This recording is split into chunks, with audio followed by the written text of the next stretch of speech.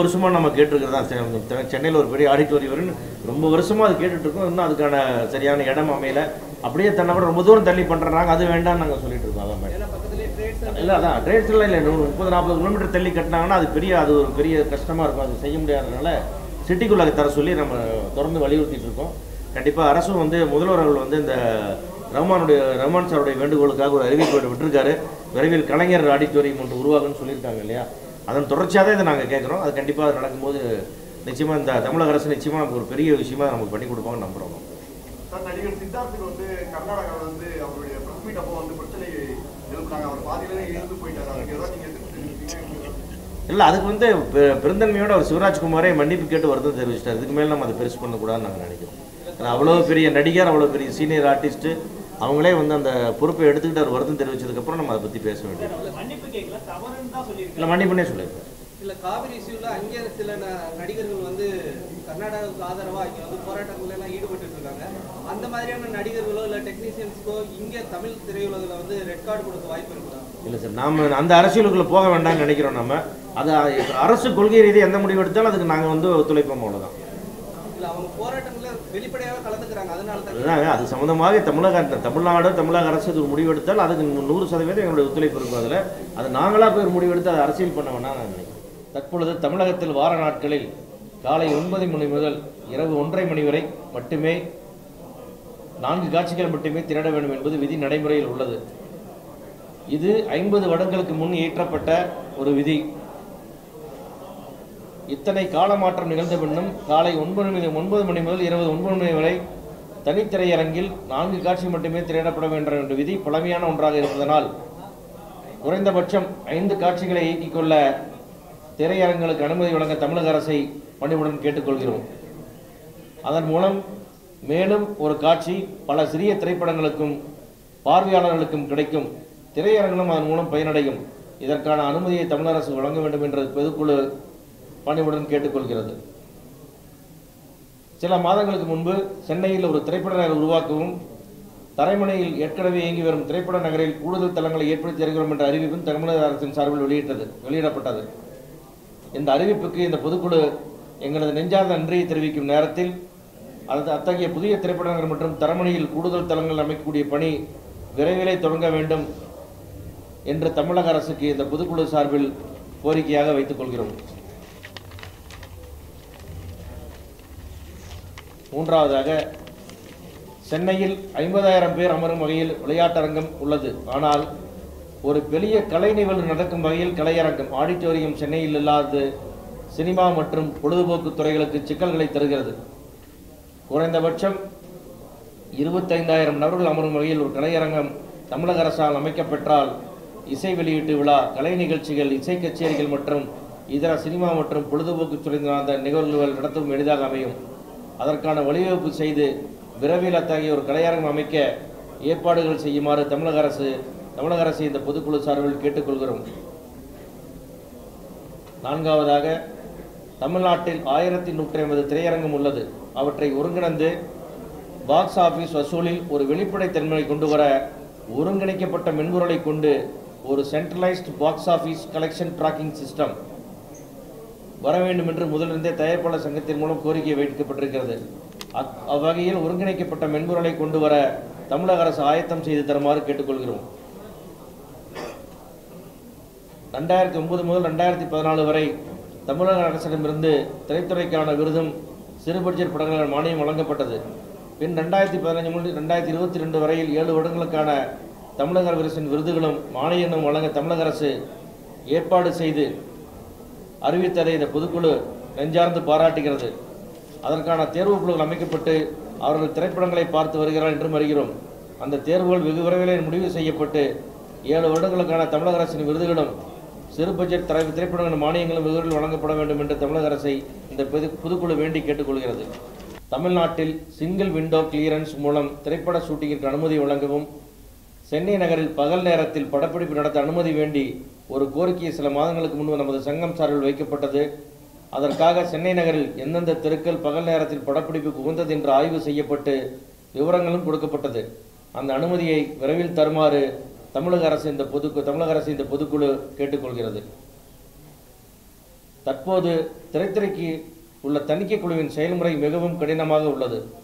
இங்கே ஒரு படம் திரையிடப்பட்ட பின் நீக்கப்பட்ட காட்சிகளின் பட்டியல் மும்பை அலுவலகத்துக்கு சென்று ஒப்புதல் அளிக்கப்பட்டு மீண்டும் சென்னையில் அதன் முதல் அதன் ஒப்புதல் சரிபார்க்கப்பட்டு அதற்கான தணிக்கை சான்றிதழ் மறுமுறை மும்பை அலுவலகத்தில் ஒப்புதல் பெற்ற பின்னரே சான்றிதழ் வழங்கப்படுகிறது.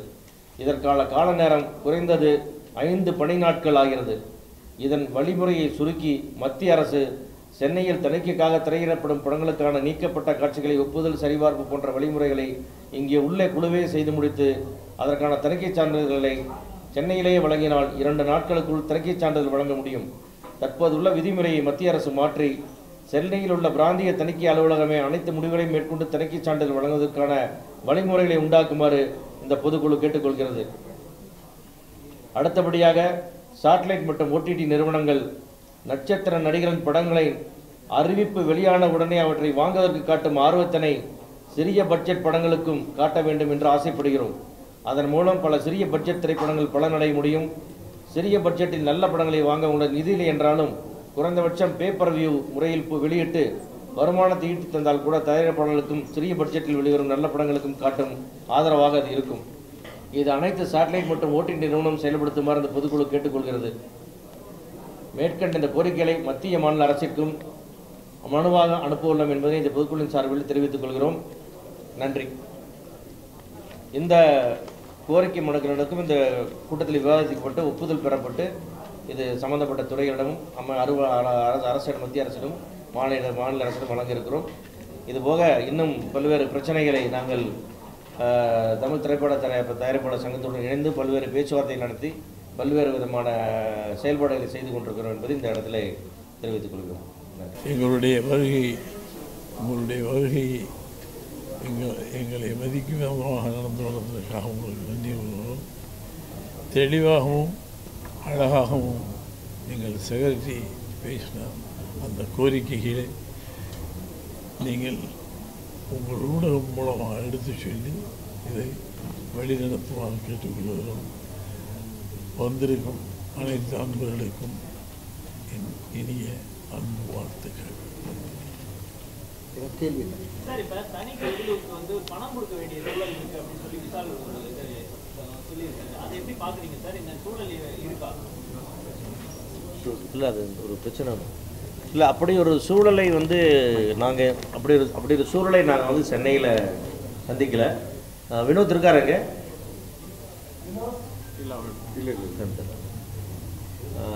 அப்படி ஒரு சூழ்நிலை நாங்கள் சந்திக்கலை. அந்த மாதிரி அனுபவங்கள் இங்கே இருக்கிற தயாரிப்பாளருக்கு எதுவும் நடக்கலை.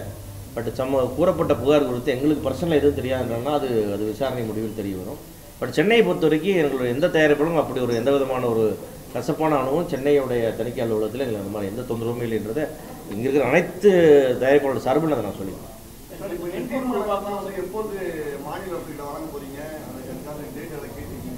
அதை கேட்கணும் சார். கேட்டுட்டு போய் வர போயிட்டு தலைவர் ஐயா தலைமையில் போய் கொடுத்துட்டு வரணும் கேட்கணும். நீ தானே முடிஞ்சிருக்கு மட்டும் கேட்டு கொடுங்க. சார்? மென்பொருள் ஒன்று உருவாக்கணும் வசூல் நிலவரத்துக்கு அப்படின்னு நீங்க வந்து கணினி முறையில வந்து திரையரங்குகளை ஒன்றிணைக்கணும்னு சொல்லி பல ஆண்டுகளா கேட்டுட்டு இருக்கீங்க.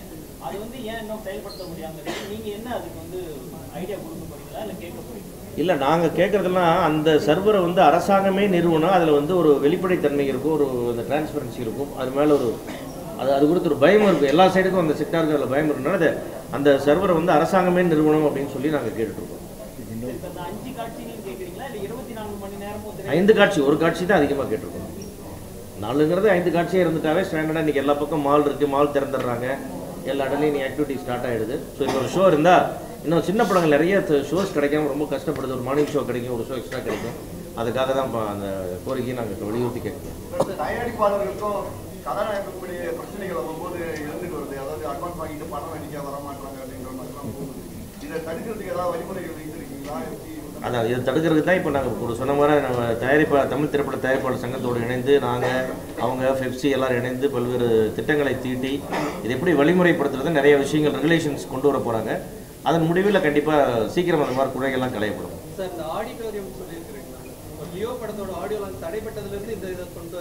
இல்ல சார் இது ரொம்ப வருஷமா நம்ம கேட்டிருக்கிறதா சென்னையில் ஒரு பெரிய ஆடிட்டோரியம் ரொம்ப வருஷமா அது கேட்டுட்டு இருக்கோம். இன்னும் அதுக்கான சரியான இடம் அமையல.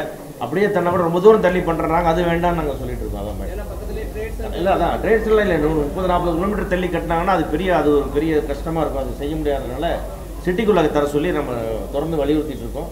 கண்டிப்பாக அரசும் வந்து முதல்வர் அவர்கள் வந்து இந்த ரஹ்மானுடைய ரஹ்மான் சாருடைய வேண்டுகோளுக்காக ஒரு அறிவிப்பு விட்டிருக்காரு. விரைவில் கலைஞர் ஆடிட்டோரியம் ஒன்று உருவாகும்னு சொல்லியிருக்காங்க இல்லையா? அதன் தொடர்ச்சியாக தான் இதை நாங்கள் கேட்குறோம். அது கண்டிப்பாக அது நடக்கும்போது நிச்சயமாக இந்த தமிழக அரசு நிச்சயமாக நமக்கு ஒரு பெரிய விஷயமா நமக்கு பண்ணி கொடுப்பாங்கன்னு நம்புகிறோம் சார் நடிகர் சித்தார்த்துக்கு வந்து கர்நாடகாவில் வந்து அவருடைய பிரஸ் மீட் அப்போ வந்து பிரச்சனை எழுப்புனாங்க. அவர் பாதியிலே எழுந்து போயிட்டாரு. அதுக்கு ஏதாவது நீங்க எதிர்ப்பு தெரிவிக்கிறீங்க இல்லை அதுக்கு வந்து பெருந்தன்மையோட அவர் சிவராஜ்குமாரே மன்னிப்பு கேட்டு வருத்தம் தெரிவிச்சிட்டார். இதுக்கு மேலே நம்ம அதை பெருசு பண்ணக்கூடாதுன்னு நாங்கள் நினைக்கிறோம். ஏன்னா அவ்வளோ பெரிய நடிகர் அவ்வளோ பெரிய சீனியர் ஆர்டிஸ்ட்டு அவங்களே வந்து அந்த பொறுப்பை எடுத்துக்கிட்டு அவர் வருத்தம் தெரிவிச்சதுக்கப்புறம் நம்ம அதை பற்றி பேச வேண்டியது. இல்லை மன்னிப்புனே சொல்லியிருக்கேன் இல்ல காவிரி இஷ்யூல அங்கே சில நடிகர்கள் வந்து கர்நாடகாவுக்கு ஆதரவா இங்க வந்து போராட்டங்கள்ல எல்லாம் ஈடுபட்டு இருக்காங்க அந்த மாதிரியான நடிகர்களோ இல்ல டெக்னீசியன்ஸ்க்கோ இங்க தமிழ் திரையுலகில் வந்து ரெட் கார்டு கொடுக்க வாய்ப்பு இருக்குதா? இல்லை சார் நாம் அந்த அரசியலுக்குள்ளே போக வேண்டாம்னு நினைக்கிறோம் நம்ம அது அரசு கொள்கை ரீதியாக எந்த முடிவு எடுத்தாலும் அதுக்கு நாங்கள் வந்து ஒத்துழைப்போம் அவ்வளோதான் இல்ல அவங்க போராட்டங்கள்ல வெளிப்படையாக கலந்துக்கிறாங்க. அதனால தான் அதுதாங்க அது சம்மந்தமாக தமிழக தமிழ்நாடு தமிழக அரசு இது ஒரு முடிவெடுத்தால் அதுக்கு நூறு சதவீதம் எங்களுடைய ஒத்துழைப்பு இருக்கும் அதில். அது நாங்களாக போய் முடிவெடுத்து அதை அரசியல் பண்ண வேணாம் நான் நினைக்கிறேன். சமீபத்தில் நடந்த விஷாலுடைய வெற்றி விழாவில் நான்கு கோடிக்கு மேலே உள்ளவங்க எல்லாம் இல்லை அவர் சொன்னதில் இல்லை அவர் சொன்னதை கொஞ்சம் சுருக்கமாக சொல்லிட்டாரு. அது டீட்டெயிலாக பிரபு கூட ஒரு இடத்துல பேசியிருக்கேன் நாங்களும் பேசுகிறோம் அப்படி அந்த அர்த்தம் இல்லை அதுக்கு உங்கள்கிட்ட ஒரு நாலு கோடி இருக்குது அந்த நாலு கோடி ரிஸ்க் எடுக்கலாம்னு முடிவு பண்ணால் நீங்கள் எடுங்க.